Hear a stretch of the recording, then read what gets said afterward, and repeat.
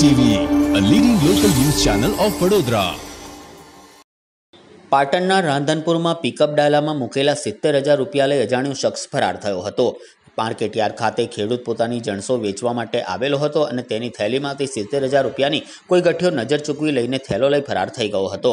સાંતલપુર તાલુકાના જામવાલા ગામના આહિર અર્જનભાઈ દેવદાનભાઈ રાંધનપુર માર્કેટયાર્ડ ખાતે પોતાના ખેતરમાં વાવેતર કરેલા પાકનું વેચાણ કરવા માટે માર્કેટયાર્ડ ખાતે આવ્યા હતા. માલ વેચી અને પરત જતી વખતે રાંધનપુર માર્કેટયાર્ડની અંદરથી કોઈ અજાણ્યો શખ્સ નજર ચૂકવી સિત્તેર હજાર રૂપિયા લઈને જતો રહ્યો હતો. ત્યાં લગાડેલા સીસીટીવી કેમેરામાં તે શખ્સ કેદ થયો છે. હાલ તો પોલીસ સ્ટેશને લેખિતમાં ખેડૂતે ફરિયાદ આપી આગળની તપાસ પોલીસે હાથ ધરી છે.